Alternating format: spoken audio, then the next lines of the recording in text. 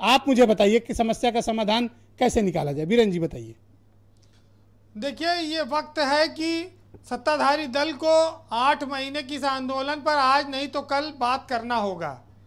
उत्तर प्रदेश देश का बहुत बड़ा राज्य है और वहाँ पर यह आंदोलन चल रहा है और बीजेपी को पंचायत के चुनाव से ये सबक लेना पड़ेगा कि पश्चिमी उत्तर प्रदेश में अगर उसका सफाया हो गया तो क्यों हो गया? मैडम शांत हो जाइए आराम से वन बाय वन अपन लोग बात करते हैं। गुस्सा नहीं करिए शांत है, वो उसका संकेत अगर नहीं समझ पा रही है बीजेपी तो उसको इसका नुकसान तो विधानसभा चुनाव में भी होगा।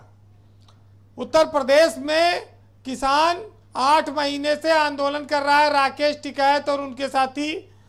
अब सरकार उन पर बात करे संशोधन करे कोई रास्ता निकाले ये वो जाने।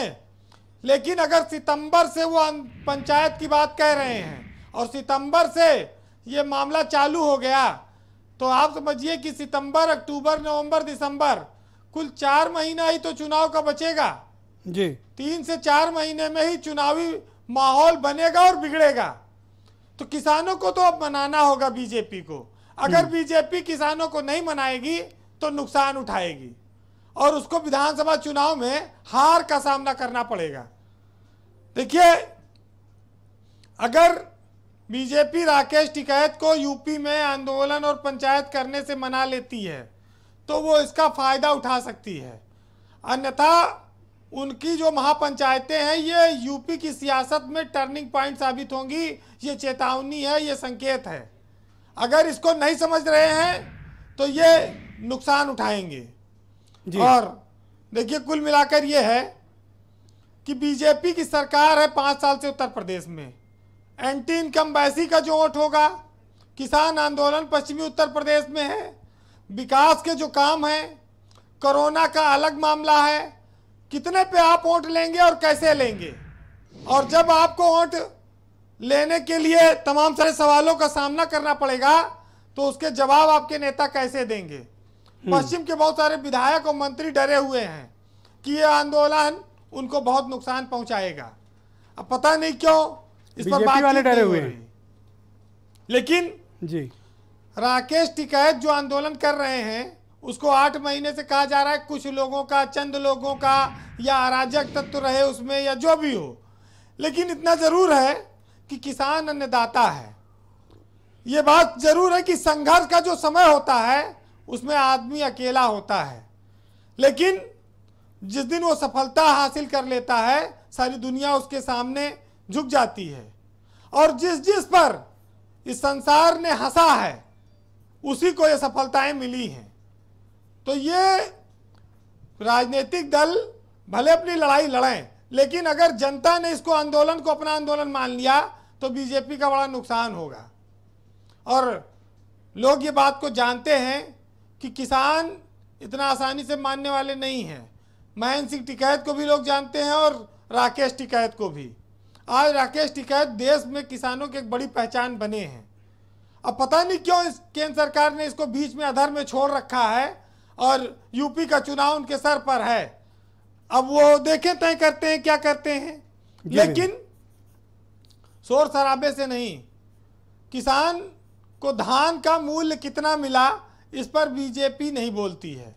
बीजेपी ने अपनी सरकार के समय में गन्ने का दाम कितना बढ़ाया इस पर अब वो नहीं बोलती है। वो जब विपक्ष में आएँगे तब इस पर सब पर बोलेंगे। डीजल जो है वो किसान को कोई सस्ता नहीं मिल रहा है।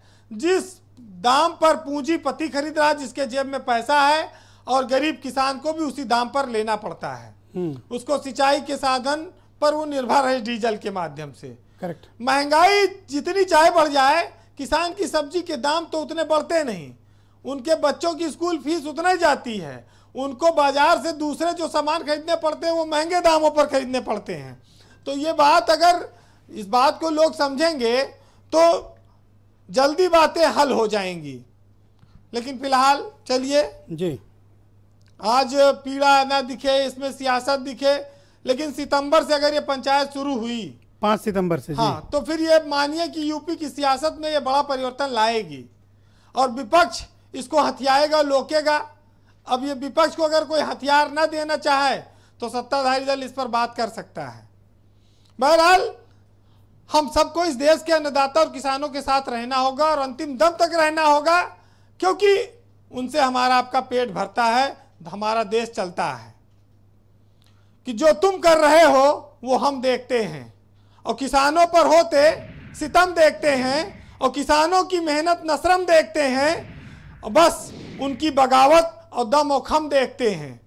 और जिन्हें अन्नदाता बुलाती है दुनिया, अब उनकी परिस्थितियाँ हम विषम देखते हैं और तुम्हारी निगाहों पर पट्टी बंधी है, मगर खुदा की कसम हम सब देखते हैं। बहुत बहुत शुक्रिया आपका बीरन जी, बहुत बहुत धन्यवाद।